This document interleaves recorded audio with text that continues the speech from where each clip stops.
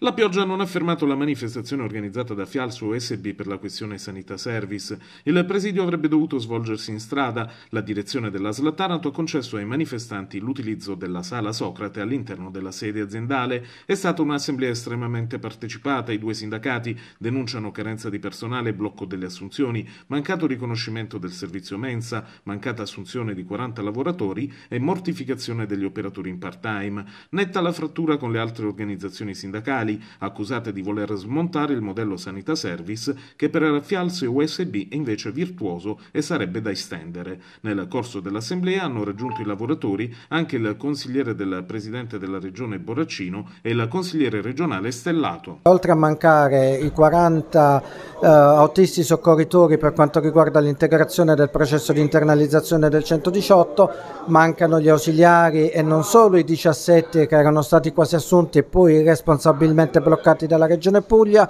ma anche tutte le altre persone che servono per integrare i tanti posti di lavoro che sono purtroppo carenti, oltre a immaginare l'integrazione che bisognerà fare per San Cataldo e tutta una serie di distretti e di tutte quelle strutture collegate anche al PNRR. Continuiamo a dire che le sanità service sono un modello addirittura che bisogna esportare fuori dalla regione, visto che siamo una delle pochissime regioni, credo due regioni in tutta Italia, che hanno un modello eh, con una società in house come ce l'abbiamo noi.